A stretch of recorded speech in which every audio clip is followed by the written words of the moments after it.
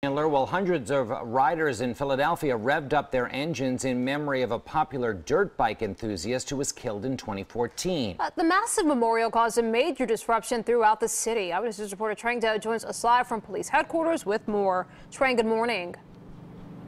Hey, good morning, Rahel and Jim. This group crisscrossed the city for hours, pretty much making their way from one end to the other. Now, police made sure to really tail them, but didn't really intervene and try to stop them.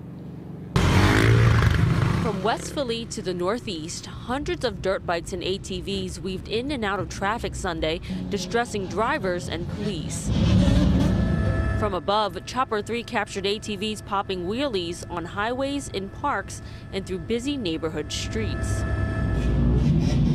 Drivers stuck in the swarms of bikes pulled out their cell phones to document the stunning sight.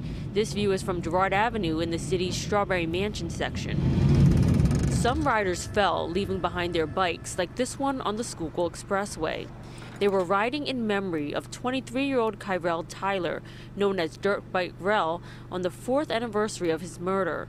Tyler was well known in the dirt bike community for performing daring and dangerous tricks on city streets. Tyler's mother spoke to Eyewitness News in May of 2016 about her son's passion. For him, it was a freedom. Philadelphia police made sure to stay close to the fast-moving and unpredictable group.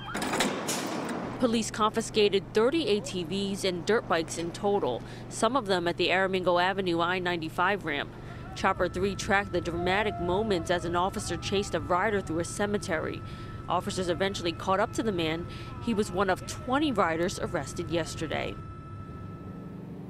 Now, in addition to the arrest and the ATVs and dirt bikes confiscated, police did recover two handguns. Fortunately, through all of it, no one was hurt.